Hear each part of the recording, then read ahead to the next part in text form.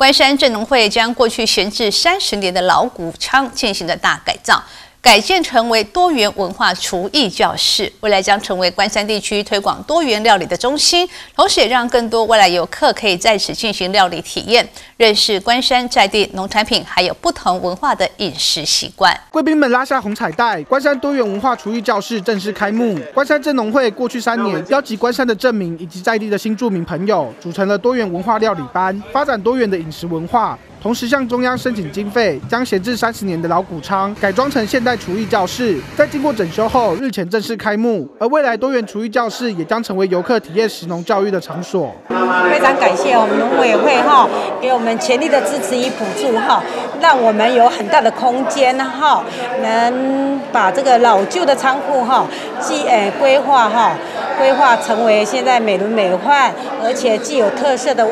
多元文化厨艺教室，我们最主要功能是提供哈不同族群的饮食文化哈，能够能够融入地方哈，增加我们农产品地产地销的模式哈，增加我们农产品的销售点跟销售量啊哈。农会总干事则指出，希望未来能够朝多元文化的方向来迈进，带动镇上的整体观光。也希望哈，透过多元文化族群哈的。